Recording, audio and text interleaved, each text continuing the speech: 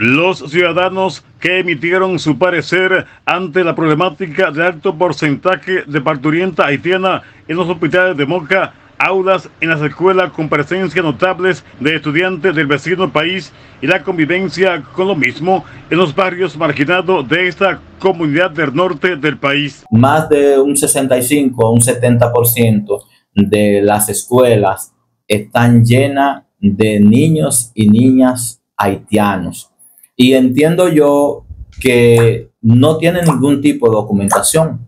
A los niños dominicanos le ponen la cosa en China a los padres y ellos no pueden inscribirlo. No, esto es ya algo de ponerle un stop. Y todo aquel que pueda emplear trabajadores mano y no cumpla con la ley, porque la ley es buena, el 80-20 lo que pasa es que siempre hay un padrino político. Y en ese sentido, el 80-20 no se cumple. Otros ciudadanos expresan que la situación es difícil con la penetración masiva de haitianos.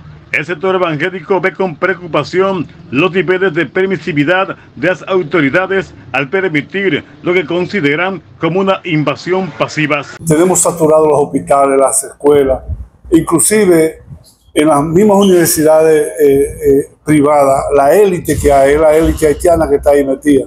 Porque los haitianos aquí quieren hacer lo que le, lo que le da la gana. Y los principales culpables de todo ese caso son los agentes de migración. Señor presidente, si esa gente de migración no le dan eh, para trabajar en eso, sáquelo de ahí, porque los haitianos nos van a invadir, nos van a matar y ellos van a ser los culpables porque a veces mucha gente de esa inmigración tienen unos negocios. En Moca, provincia España, Cristian Rodríguez, hace de media noticias.